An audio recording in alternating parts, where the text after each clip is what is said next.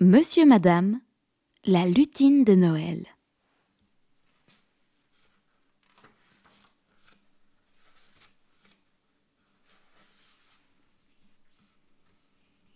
Tout le monde était très occupé au pôle Nord. Les reines s'entraînaient chaque jour pour être en forme avant le grand voyage. Les lutins de Noël fabriquaient des jouets et empaquetaient des cadeaux. Et le Père Noël était occupé à vérifier sa liste. Une liste qui pointait qui avait été méchant et qui avait été gentil cette année. Une liste qui disait qui allait recevoir un cadeau à Noël et qui n'en aurait pas. Et pour être sûr de ne rien oublier, le Père Noël écrivit tout ceci dans un livre. Un très gros livre. Le Père Noël est un joyeux personnage, d'une grande générosité et toujours gentil. C'est pourquoi il est très compréhensif. Il faut être vraiment, vraiment méchant pour qu'il trace une croix rouge devant ton nom dans son grand livre. Le Père Noël avait-il inscrit sur sa liste beaucoup de noms parmi les méchants? Eh bien non. Il n'avait marqué qu'un seul nom d'une croix rouge dans son énorme livre. Et à ton avis, de qui s'agissait-il? C'était Madame Canaille, évidemment.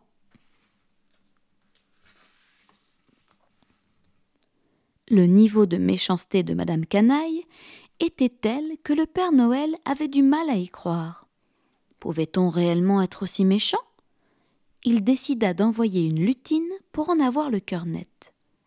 Cette lutine assista à une longue démonstration de méchanceté qui durait toute l'année, du lendemain de Noël jusqu'à la veille de Noël.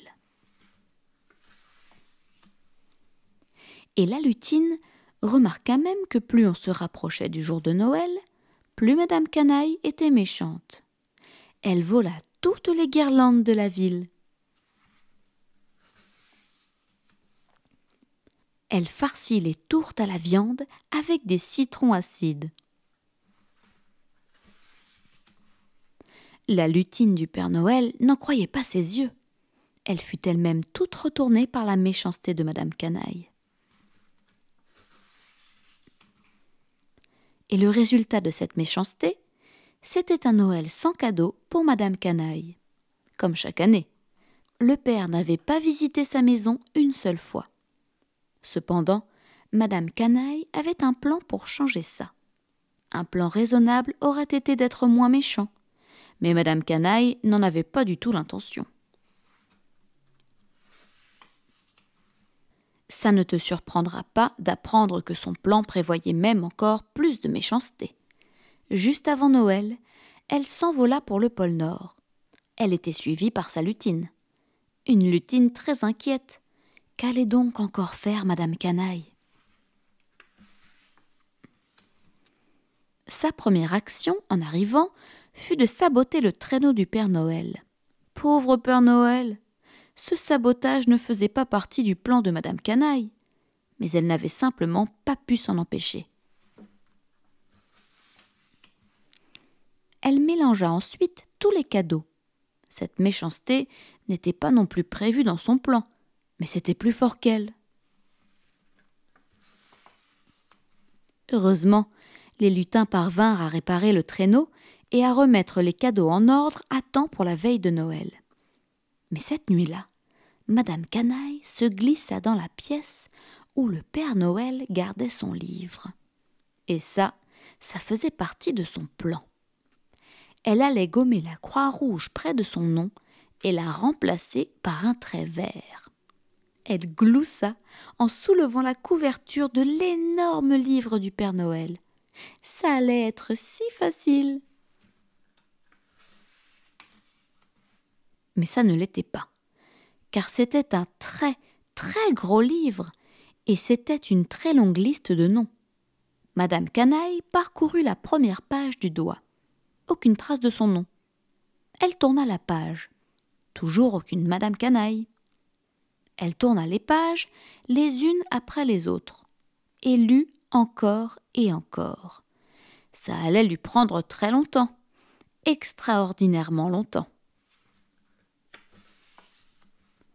La lutine de Madame Canaille la regardait tourner les pages quand une pensée lui vint à l'esprit.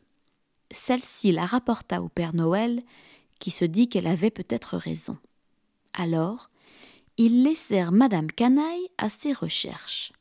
Elles lui prirent vraiment longtemps, plus longtemps que Madame Canaille n'aurait pu l'imaginer. Elles lui prirent une année entière, une année entière à tourner les pages, une année entière à lire des noms, et enfin, à la veille de Noël, elle trouva son nom. Enfin s'écria-t-elle. Enfin En effet, dit le Père Noël, qui surgit pour tracer un trait vert devant son nom. Tu l'as fait s'écria la lutine de Madame Canaille. Une année entière sans être méchante. C'était ce qu'elle et le Père Noël avaient espéré tout ce temps. Et ainsi, cette année-là, Madame Canaille reçut son tout premier cadeau de Noël. Le tout premier et très probablement le dernier. Pour ne pas manquer les prochaines histoires, abonnez-vous et rejoignez-nous sur Instagram pour nous demander de lire votre livre préféré. Si l'histoire vous a plu, le lien pour trouver ce livre est dans la description.